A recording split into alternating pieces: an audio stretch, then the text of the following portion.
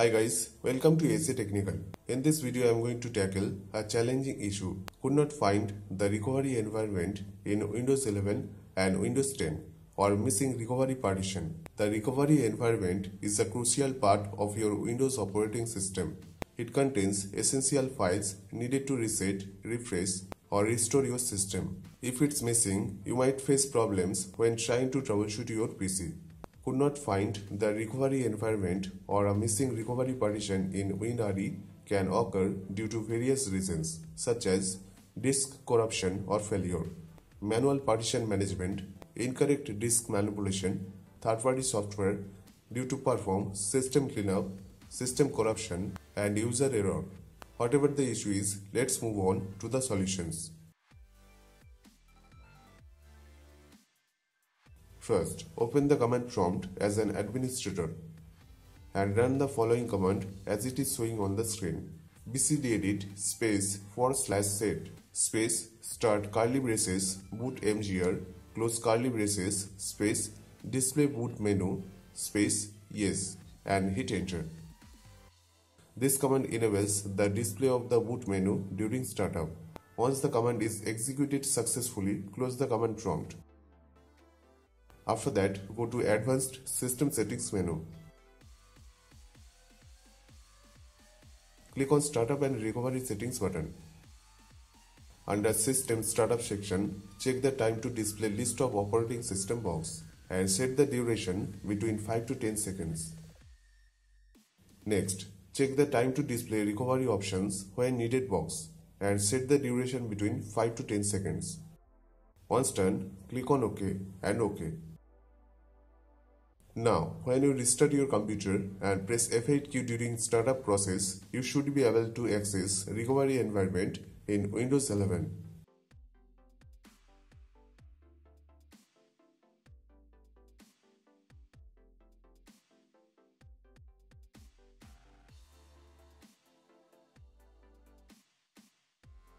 Okay, now you can select the desired option to troubleshoot and fix any system related issues.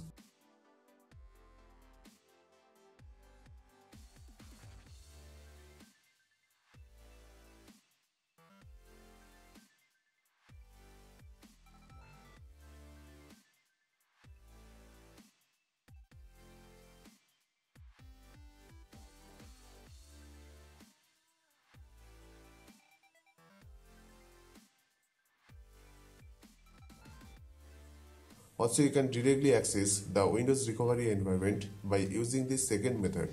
In the command prompt window, type the following command shutdown space forward slash r space forward slash o and press enter. This command forces to Windows to restart the computer and open the advanced recovery option menu instead of boot normally.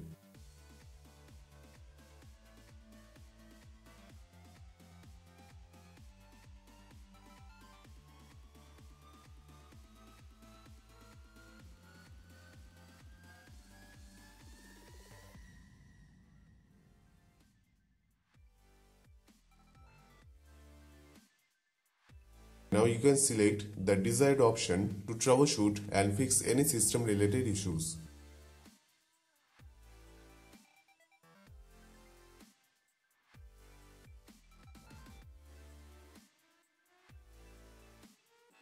If the recovery partition is missing, then the previous methods will not work on your computer. In that case, you will need to perform a system updates or upgrades using Windows ISO file. If you don't know how to perform system updates or upgrades, then here's a certain tutorial for you. And also the tutorial link is given in the description below. And I'm sure it will definitely help to fix the problem. So, I hope this guide was helpful for you. If you have any question or any advice guide, then please let us know.